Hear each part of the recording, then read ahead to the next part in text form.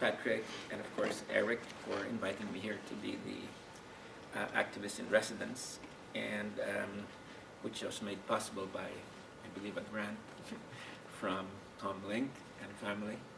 And um, so I'm very happy to be here, to be also with old friends like Mike Cullinane uh, and um, other uh, friends who um, were quite active uh, in the solidarity work around the Philippines in the late 70s and early 80s. Um, yes. um, okay. So, um, so in contrast to yesterday, what I'd like to do today is to speak about my broader experience as what is termed a public scholar or public intellectual about some of the quote-unquote lessons I have learned uh, trying to reconcile the demands of intellectual work with uh, political activism. Uh, let me just say, you know, from the start that I was uh, quite fascinated by social analysis uh, from the very beginning when I came into contact with it during my freshman year in college. I found that rooting human behavior in socialization, social process, and social structure uh, provided an explanatory power that was unmatched by any other approach. At the same time, uh, there was always this side of me that saw value in doing theoretical analysis, not for its own sake, but to provide a guide to shaping social arrangements for the better. And this was way before I encountered Marx's 11th thesis on Feuerbach. Activism was never far from my academic work. While doing my graduate work in sociology at Princeton in the early 70s, I led the takeover of the Woodrow Wilson School as an anti-war activist. Uh, while writing up my dissertation on the counter-revolution in Chile, I was also fully engaged in organizing the anti-Marcos movement in the United States as a cadre of the Communist Party of the Philippines. Upon getting my PhD, I left the university to plunge into work as a full-time underground activist and did not rejoin the academy until nearly 20 years later. It was also during those years as a full-time activist that I think I did my best analytical work. There are four key lessons I have learned from my experience as a public intellectual. The first is that truths, or certain truths, only become true through action. The second is that to get at the truth, one must sometimes resort to unorthodox, indeed illegal, research methods. The third is that one must accept that there is an inevitable and permanent tension between theory and practice, between thought and action, between truth and power. Thinking that this tension can be eliminated is one of the most dangerous illusions of the public intellectual. The fourth relates to my talk yesterday, and this is that the only people you can really trust with political power are those who are ambivalent about it but that these are also the very people who are least capable of entering the necessary political compromises to bring about positive political action. So let us take up the first quote unquote lesson that truths need action to become true. This was perhaps brought home decisively to me by the events in Seattle in late November and early December 99 uh, to which uh, I was a participant. In the decade prior to Seattle, there were a lot of studies, including United Nations reports, UNCTAD reports, that questioned the claim that globalization and free market policies were leading to sustained growth and prosperity. Instead, the data showed that globalization and pro-market policies were promoting more inequality and more poverty and consolidating economic stagnation, especially in the global south. However, these figures remained factoids rather than facts in the eyes of academics, the press, and policymakers who dutifully repeated the neoliberal mantra that economic liberalization promoted growth and prosperity. The orthodox view expressed ad nauseum in the classroom, the media, and policy circles, exemplified by the writings of Thomas Friedman, was that the critics of globalization were Luddites. Then we had the massive anti-globalization demonstrations in Seattle that led to the collapse of the third ministerial of the World Trade Organization. It was not just a ministerial that collapsed, but also a creed that had been believed to be true. After Seattle, the press began to talk about, quote unquote, the dark side of globalization, unquote, about the inequalities and poverty being created by globalization. After that, we had the spectacular defections from the globalist camp, such as those of the financier George Soros, the Nobel laureate Joseph Stiglitz, and the star economist Jeffrey Sachs.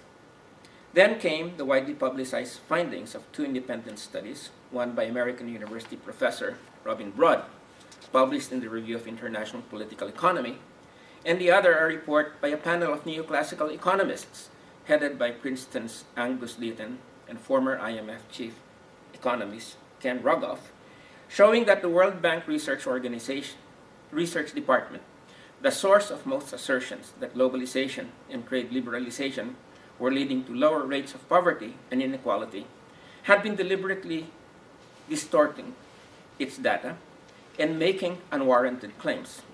Way before the financial crisis broke out in 2008, the credibility of neoliberalism and the promise of globalization had been severely eroded. What made the difference? Not so much research or debate, but action. It took the militant anti globalization actions of masses of people and the spectacular collapse of a World Trade Organization ministerial to translate factoids into facts, into truth. What proved decisive was the conjunction of the massive protests of thousands of protesters in the streets of Seattle and the refusal of developing country delegates at the Sheraton Convention Center to accept any more liberalization of their economies.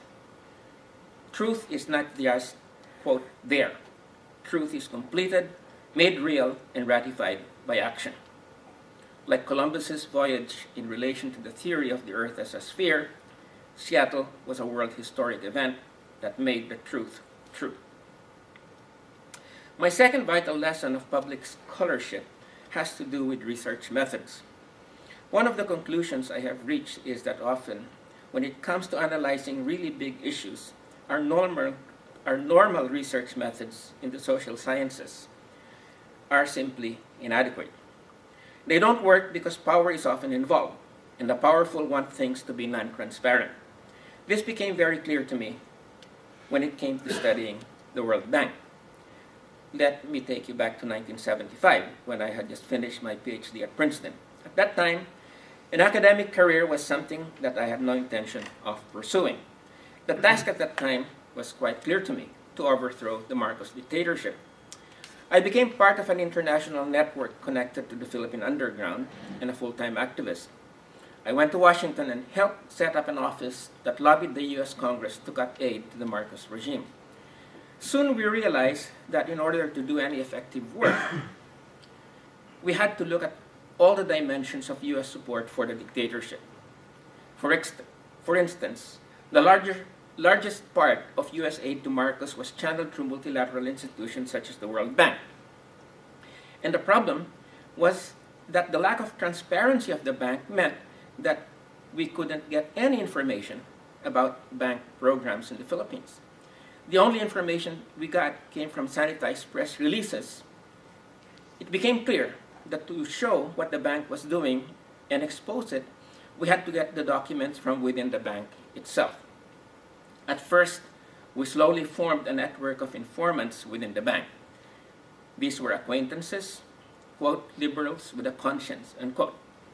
Our work was part of a process of building what was effectively a counterintelligence network, not only within the bank, but also within the State Department and other agencies of the US government. Well, these people started to occasionally bring us documents, but this was a tedious although necessary, process. The information was not enough, so we thought that it was necessary to resort to more radical means. So my associates and I investigated the patterns of behavior of bank people, and we realized that there were times in the year when there was nobody at the bank. Thanksgiving Day, Christmas, New Year's Day, July 4, Memorial Day. On those days, and over a period of three years, we went to the bank pretending that we were returning from a mission with our ties askew and said that we were just coming from Africa or India, etc. The security guards always asked for our IDs. When we pretended to fumble for them, since we looked so tired, they said, okay, just go inside. It always worked. As you can imagine, security was not quite tight in those days. Well, once we were inside, we were like kids let loose in a candy store. Hmm. We took as many documents as we could, and not just reports in the Philippines, and photocopied them using the bank facilities. this happened over three years. The documents, some 3,000 pages of them, on practically every bank-supported project and program in the Philippines, provided an unparalleled look at the workings of a close relationship between two non-transparent authoritarian institutions, the World Bank the Marcos regime. First, we held press conference to expose us, to expose the documents piece by piece to the embarrassment of both the bank and the Marcos government. Eventually, we came out with a book published in 1982 by Food First entitled Development Debacle, the World Bank in the Philippines. According to many people, this book contributed to the unraveling of the Marcos regime. I hope they were right. The key lessons here. Okay, this was Seattle, and this was uh, development back. Um, as for what I had learned, well, it was that accepted or orthodox methods have their limitations, and that to really do effective research, sometimes you need to break the law. But you have to be very professional in the process. We were quite careful in going about it, and we were not able to tell the real story until about, about how we got the documents until 10 years later, 1992, when the statute of limitations for criminal prosecution in the United States had lapsed. My associates and I could have gotten 25 years in jail had we been caught breaking into the bank, though of course good behavior would have shortened that jail stint with an early parole. But on a more serious note, the decision we had to make was not easy. It's never easy to decide to break the law, not only because of the penalties involved, because we are, but because we are also deeply socialized to follow the law. Civil disobedience is one thing. This was theft, repeated theft, well-planned, repeated heist. But we felt that we had no choice. Otherwise, the truth would have been buried for a long, long time in the vaults of the World Bank. The third lesson concerns the tension between analysis and action, between truth and politics. Managing this relationship is not easy since our moral side is very demanding, especially when it comes to dealing with unpleasant truths. I first experienced being caught between divergent demands of truth and politics when I was doing my PhD dissertation.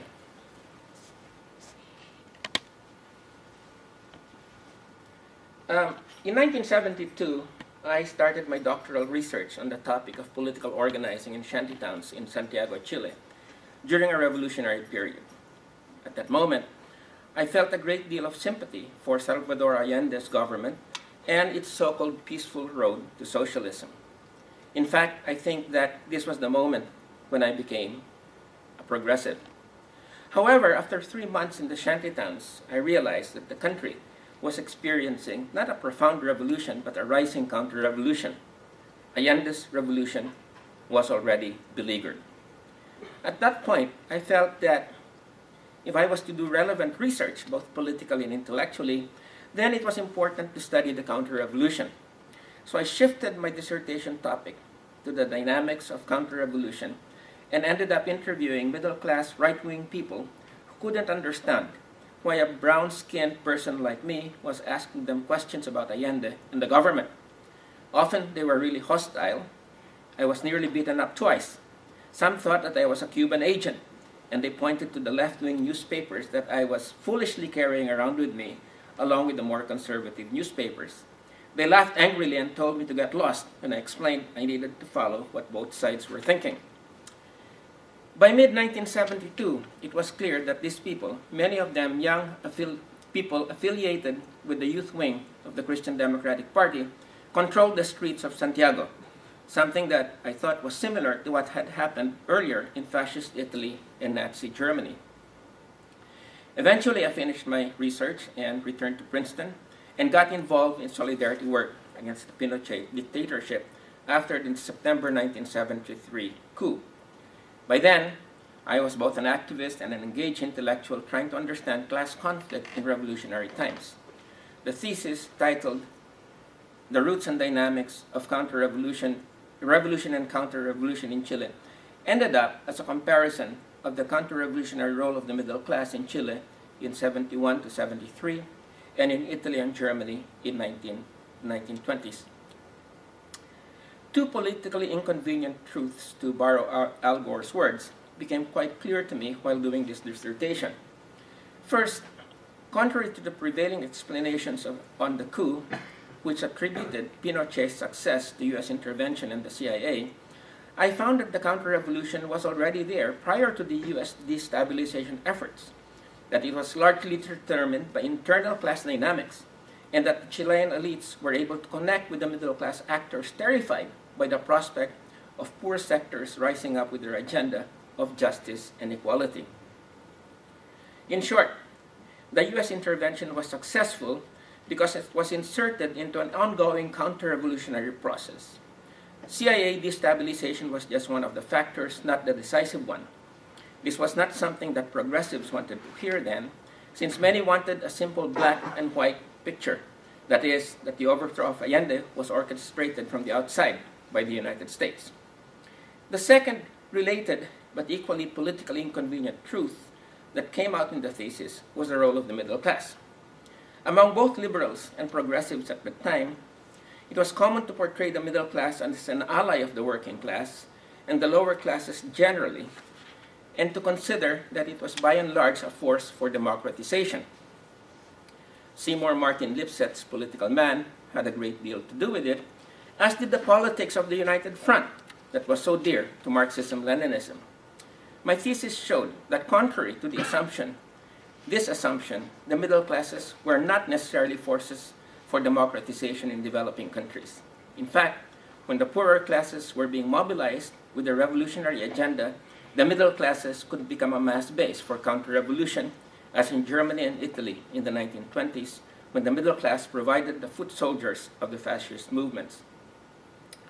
But progressives really have a hard time accepting this characterization of the middle class. And part of the subliminal reason is that this is often the class they come from. In fact, years later, I had to restate my position in a review of Naomi Klein's best-selling book, The Shock Doctrine. Naomi is a good friend, but her portrayal of the overthrow of Allende as a product of a plot between the military and the Chicago Boys, an alliance without a mass base, is not only simplistic but wrong. It would be like saying that the coups against Thaksin Shinawatra in Thailand in September 2006 and his sister Yingluck in 2014 were solely the product of a conspiracy between the military and some people in the Royal Privy Council, without reference to the role of the Bangkok middle classes in creating the political conditions for the coup. Like the Thai middle class in the case of Thaksin, the Chilean middle class was instrumental in the overthrow of Allende. It is the role of the public intellectual to point out such truths, truths that are not convenient from the point of view, sometimes, of one's politics. The tension between truth and politics becomes greatest when the public intellectual is part of a political organization. What happens when the demands of truth and the demands of the organization begins to diverge? This has been the greatest fear of intellectuals of the left, for, as I said, our moral or political side is very demanding in the interest of the bigger battle against the right, against reaction against imperialism, it is a very great temptation to ignore, rationalize, and defend abuses committed by our sides and to close ranks. In the late 1980s, news started filtering out from the Philippines countryside that the Communist Party, to which I then belonged, had carried out a wide-ranging purge of cadres that involved widespread wholesale executions I was so perturbed that I investigated the matter after I re- returned to the Philippines in the late 1980s. What I found was truly disturbing. The party had undergone a process of self immolation that involved the execution of some 2,000 cadres on suspicion of being agents of the military. I interviewed both victims and executioners. The study that I came out with was, for a long time, the only work done on the episode. It was intended to be part of a process of internal reform within the party that would include the internalization of individual human rights and the institutionalization of a system of impartial, objective justice. Instead, I was labeled a Gorbachevite, whatever that meant then. And later on, I was considered an out and out counter revolutionary. That I continued to view and struggle against US hegemony and neoliberal policies as the main obstacles to the Philippines' uh, economic and political development was of no account. I was now, quote unquote, objectively an agent of US imperialism. I felt I was in good company, though, since one of the figures I have most admired, admired Nikolai Bukharin, was during the Moscow trials in 1937 also judged to be, quote, objectively an agent of Nazi Germany. I eventually left the party, for it turned out to be very different from the organization that I had joined in 1974. Now, my experience is not unique. Engaged intellectuals at other periods and in other circumstances have found themselves coming to the same juncture when they have to make a decision on whether to toe the line or break with an organization or even a movement.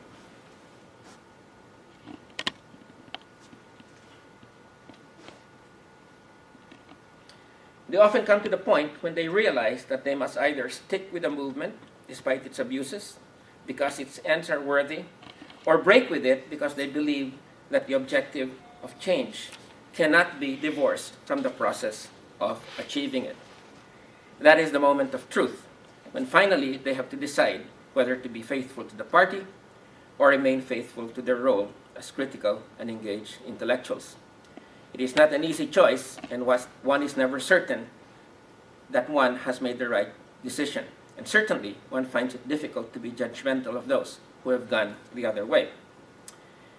Intellectual work and political work are complementary, but they also exist in tension with each other. Living this tension is the grand challenge, and in my view, one of the engaged intellectuals' worst mistakes is to subordinate truth to power in the belief that this is the best route to justice. One needs power to realize truth and to bring about a more just order, but one cannot allow truth to be ensnared by power in the process. I do not have 100% certainty that I have made the right choices. Indeed, my adversaries, and unfortunately I have quite a few, ranging from the World Bank and the WTO to the Philippine military, the Communist Party, and lately the Aquino administration that I was earlier allied with, are betting that I have not, and that I will have my comeuppance, hopefully in the near future. In this regard, someone once said that one of the certainties about being an engaged intellectual is that you create more enemies than friends. And may I add, what few new acquaintances you make, like Hugo Chavez, Hamas, and the Hezbollah, are precisely the ones calculated to create even more enemies. Um, I would like to conclude by discussing the fourth key lesson that I have learned as a public intellectual by connecting today's discussion with that of yesterday. And I believe many of you were in the same situation, uh, uh, uh, uh place yesterday. I will not go back to the case studies, but for me, the key lesson of a progressive's participation in democratic politics is that the only people you can trust with power are those who are ambivalent about it. Yet, those who are ambivalent about power are also those who are congenitally least capable of mastering the art of compromise that is necessary to get progressive legislation and actions through in a representative democracy. They are either too impatient or they cannot stomach the horse trading without which reforms cannot be pushed in liberal democracies, especially in times when the mass movement is weak. This enterprise may be described as one of engaging in twists and turns, but keeping the boat on the right course. Here, one must risk not only the hostility of one's enemies, but also the disaffection of one's progressive allies. It also means knowing when to cease compromising and standing one's ground. And it also means being able to discern when the correlation of forces changes so that what was a principled compromise at one period may no longer be one at another phase of the same broad struggle. Combining ambivalence about wielding power with political calculation thus is for me the highest challenge of a public intellectual. It is not surprising that few have been able to master this art. I certainly see myself as still a novice when it comes to it, having had many um, um, problematic experiences. It is so difficult that some people say, well, why don't we just remain outside the arena of representative democracy and simply act as a pressure group, group on politicians? And one of the comments that came out yesterday, why do we not simply remain uh, as a principled opposition, even when we are representatives in Congress, vetoing everything that comes from the administration? I do not think either is a viable approach. We as progressives have no choice. To change the system, we must learn to work the system, but not to be ensnared by it. Thank you very much.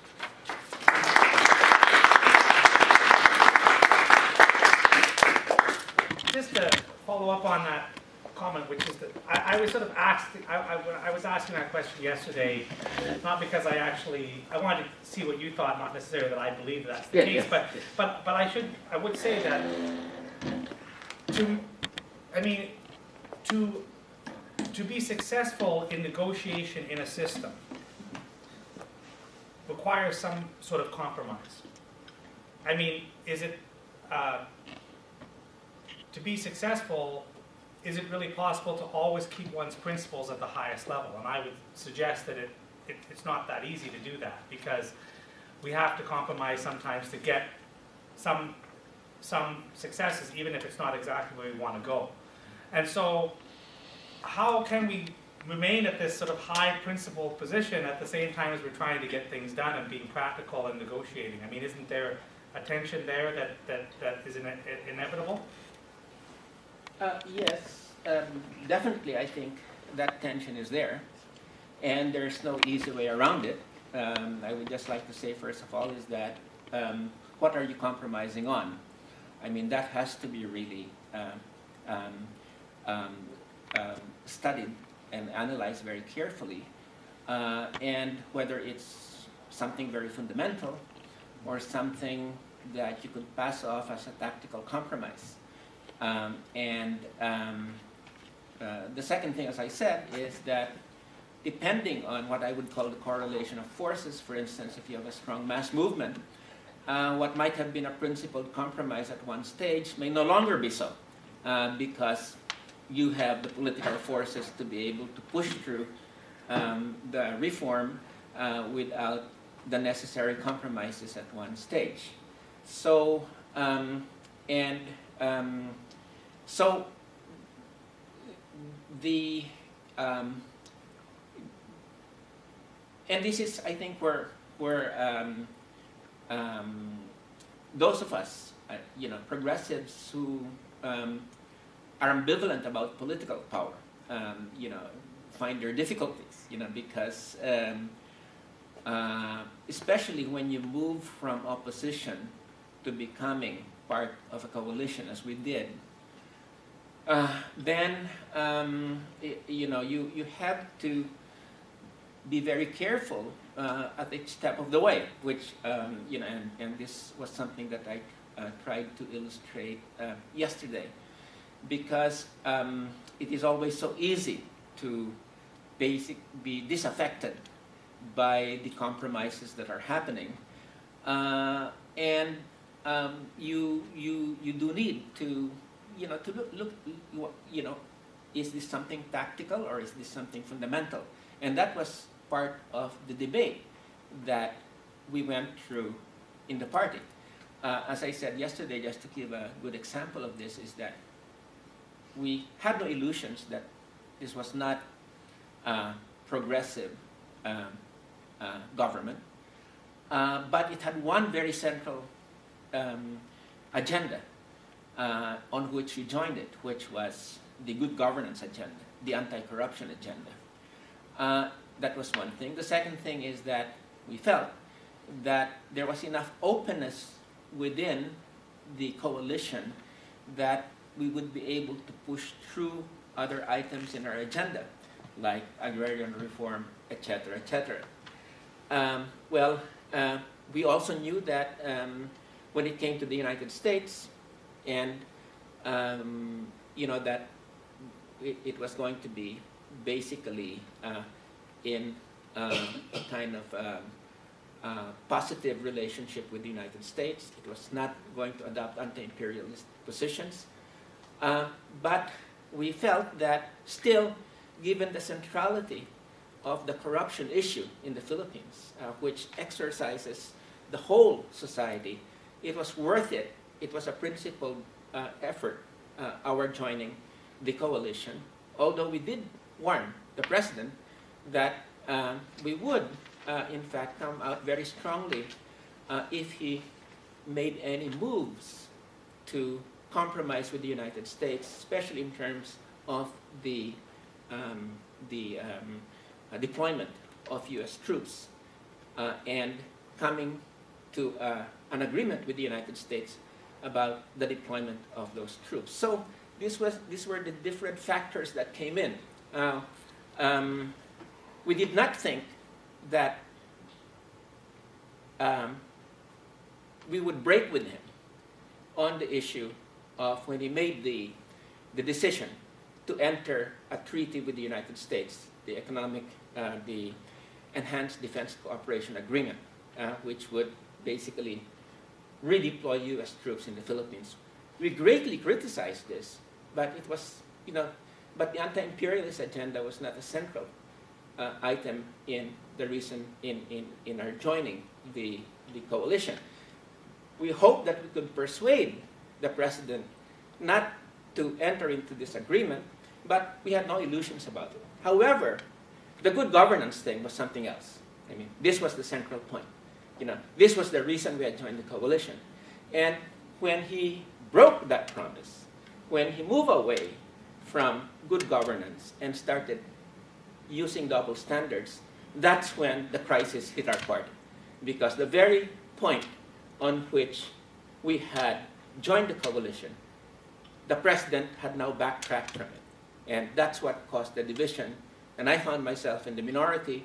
And since I was the principal representative of the party in Congress, and I could no longer support the president, but the majority continued to support the president, I uh, basically uh, left. So these are the calculations that uh, came in.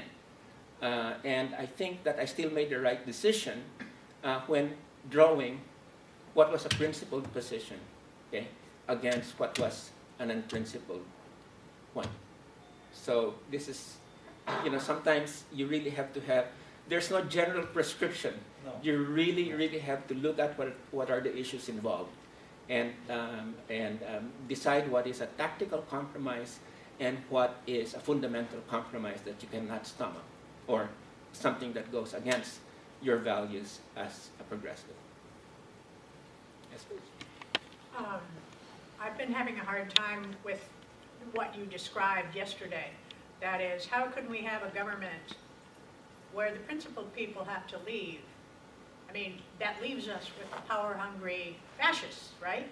So I'm thinking, I was thinking uh, contractually, if you were going to form a coalition as you were in, why couldn't you build into that an arbitration process that confronted violations of your agreement as to what the coalition was going to accomplish? And why couldn't we have, as ombudsmen, the individuals who have a moral backbone um, who will um, enforce this kind of an arrangement. It seems to me, otherwise, we are at the, you know, the mercy of the power-hungry fascists. Yes, well, uh, the first thing I would just like to address again is the, uh, the first part of your statement, which is, um, again, I was, I was, you know, taking off from a quote by Mario uh, Vargas Llosa yesterday, Absolutely. where he, he comes from a different political end, you know, yeah, yeah, but I think it was very valuable, that, the point that he made, that, um, that um, the most successful, or the successful politician is one who is obsessed with power. And that uh, um, people who are not successful, uh, you know, I mean, uh, people who are not obsessed with power cannot be successful politicians. That was the challenge of that quote. Um, I guess what I was trying to say is, you know, I disagree with that. Okay.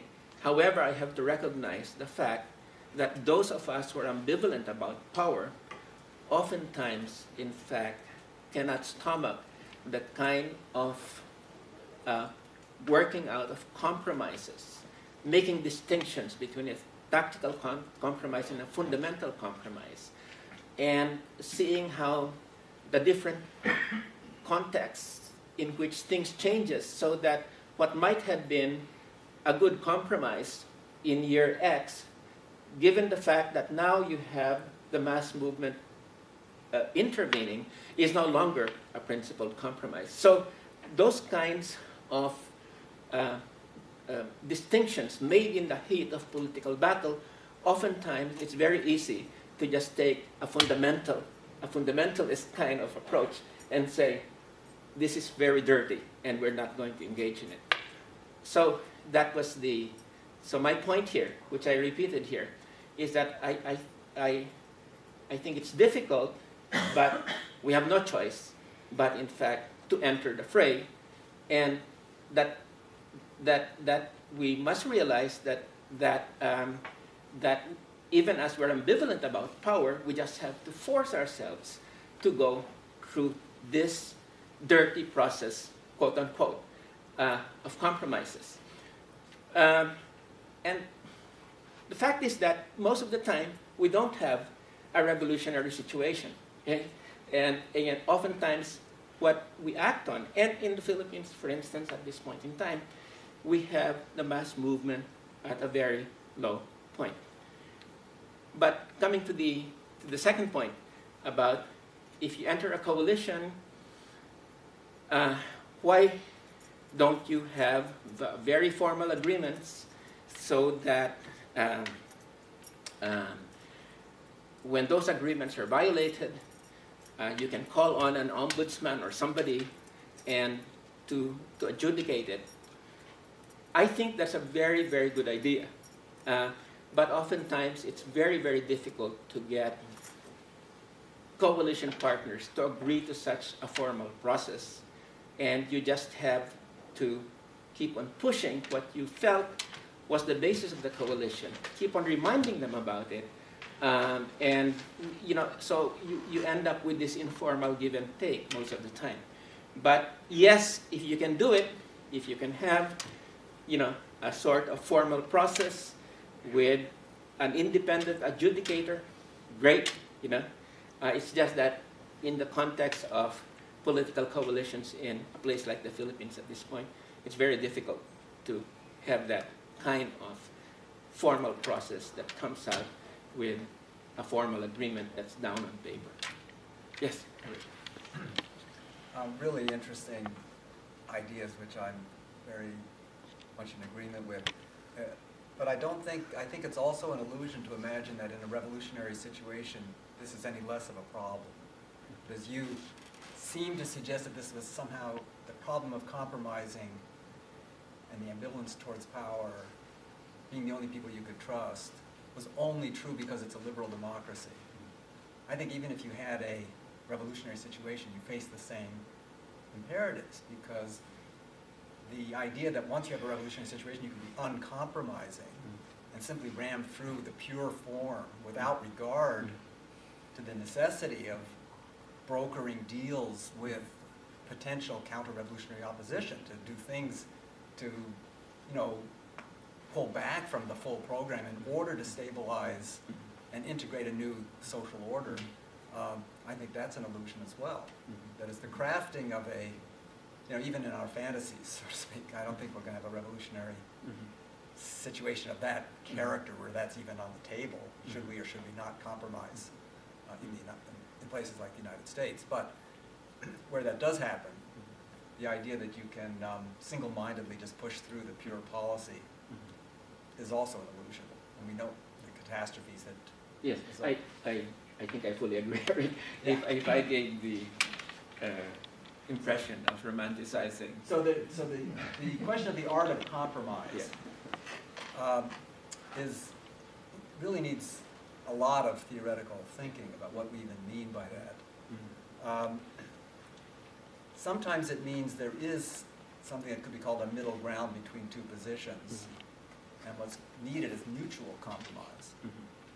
That's quite different, where what compromise means, I am compromising my values, I'm basically capitulating, Mhm. because I can't forge a middle ground. Mhm. The word compromise gets used in both. Mhm.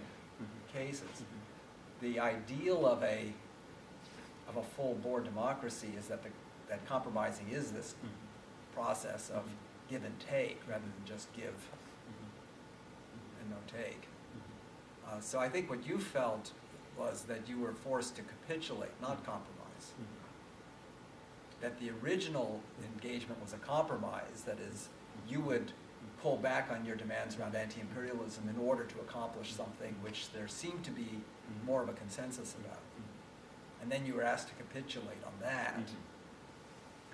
Mhm. Um, That's really, you're being asked to abandon a compromise. Mhm. You were willing to compromise, but Mhm. you were being asked to abandon Mhm. a compromise and just capitulate. Yeah. I, I, I fully agree. I mean, I, I should have, you know, I could, those would be terms that I would uh, basically also use. Uh, what I used here was a negative compromise as opposed to a positive one. And, and so I think, you know, the, you know, I, I'm in agreement with you on that. And, and secondly, um, definitely, I mean, uh, the necessity of compromises uh, does not, you know, is not only in liberal democracies, but including in revolutionary situations, you know, and uh, clearly, you know, um, in revolutionary situations, um, uh, there are maximum programs that, um, you know, that could end up just inflaming the counter-revolution, uh, or you have, you know, programs that, you know, are much, you know, not the maximum program, but certainly still go some way towards meeting some of your mass-based demands, you know, like agrarian reform, you know. Um, so, you know, so so basically, you know, the same sort of considerations around context, timing,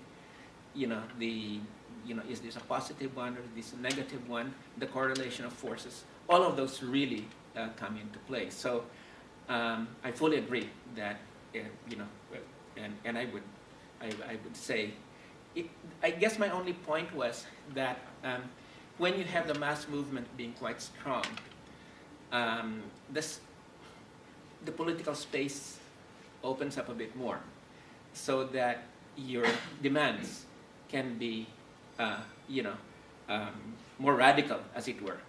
Uh, but, but still, uh, the realities of it is that the maximum demand, but that is being demanded by some of your mass base, uh, you really can't push through because it would just create a coalition of forces against you.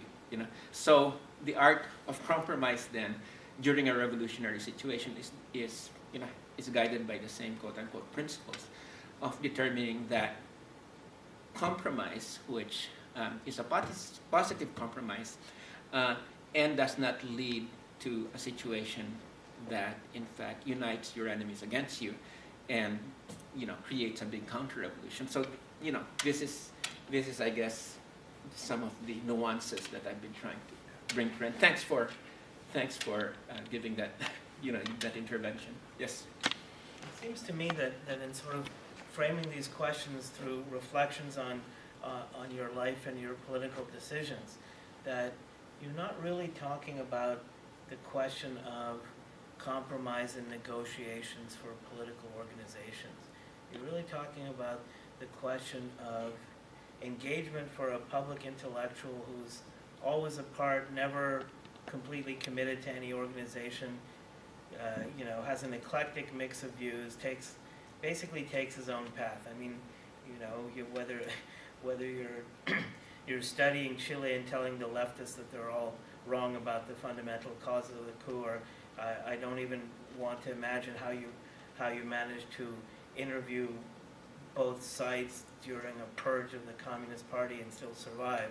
Um, but you've always so it, it for, for you when your when when your party uh, made the wrong principal decision in terms of what were the what was the basis of uh, being in a coalition for you you withdraw from the party you withdraw from from that in, entire position uh, for most people I think in most countries uh, political uh, engagement and even the formation of political views is fundamentally bound up with membership in a specific organization or group or community. Uh, and I think one of the, the weaknesses of, of activism in the United States is that so much of it is on the individualist model and so much of it is people who say basically in a sort of consumerist way, I won't, I won't engage in this organization, this campaign unless it meets all of my criteria, unless it uh, suits itself completely to me, and the, the best thing is to remain apart and pure rather than to make any sort of compromise. So, so if, if you if you could talk about, uh, it seems to me that for that for mo most people don't have the sort of wherewithal to come up with their their own views independently of an organization, come up with their own modes of engagement consistently over decades, remaining sort of politically relevant while still being clearly not beholden to any organization. Could you, what exactly do you learn from, from your own experiences that can apply to this more general question of, of how, how to Yeah. work in an organization? Well, I would fundamentally disagree with you. Okay, uh, one of the first, you know, one of the first things one has to recognize is where you're coming from, and you know, I, you know, um, I will, you know, the first thing that one has to recognize is one's placement, um, social class-wise, and in terms of the stratum that you come from, and that one comes from what we call in the developing countries the intelligentsia, and um, that's the first thing.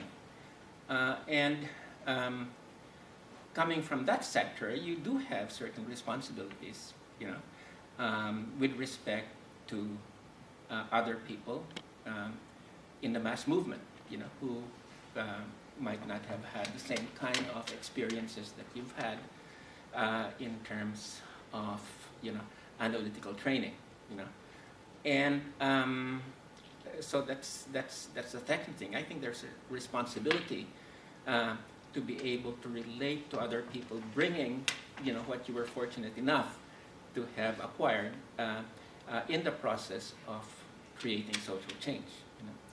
The third thing is um, um, I was with the Communist Party for 14 years, you know, and um, in most of that time, uh, there was a lot of struggle and discussions, uh, wrong lines, um, um, um, uh, and you know, you had to be um, part of a process whereby you had to articulate certain positions, but you also had to um, live up to certain disciplinary standards. You know, um, so um, so I would I, I would say that um, that even as you're part of an organization, I think your critical faculties continue to be exercised as when you fight for a position where you absolutely say no, or where you basically say, well, I'm not too clear about our position here, uh, and I will live with, with that until things becomes much clearer. And um, when um, when the um, uh, situation um, of uh, the executions took place, okay, 2,000 people. This is the first communist party in the world in which the purge of combatants took place before, quote unquote, the seizure of power. Okay? Um, that's where I drew the line. Okay, uh, and here it was very important that there has to be an objective justice system, and that this whole issue of human rights, um, the rights of the individual, had to be brought in, because there's just this thing, you know, in the traditional Leninist parties whereby only classes had rights, okay, and the most rights belong to the cadre, the intelligentsia that was leading the party, the whole tradition of Lenin.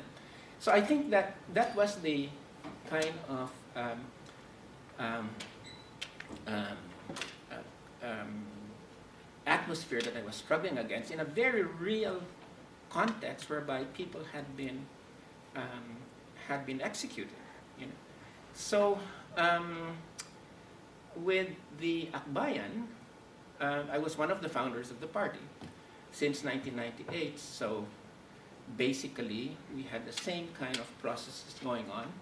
Uh, it was Akbayan had had um, broken.